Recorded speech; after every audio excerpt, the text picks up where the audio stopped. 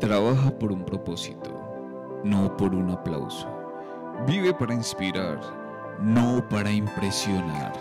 Este es un mensaje de la Fundación Mercedes Herrera Mora de Tenorio y Radio OETH.